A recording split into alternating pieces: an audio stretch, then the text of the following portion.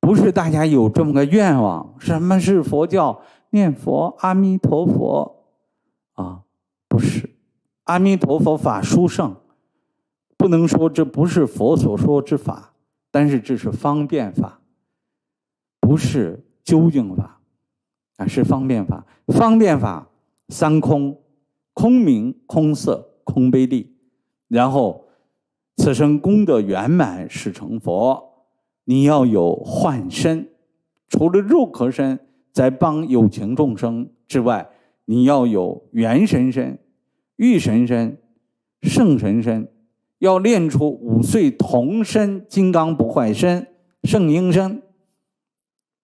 啊，所以是这个，大家要一改自己学佛的这个观念，蹉跎岁月、浪费光阴的观念，不能再蹉跎，不能再浪费时光。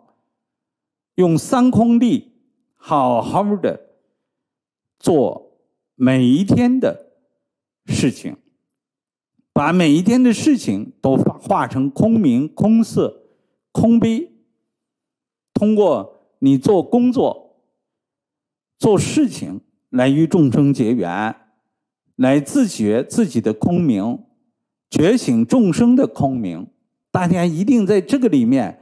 真正发心度众生，自觉觉他，觉醒圆满。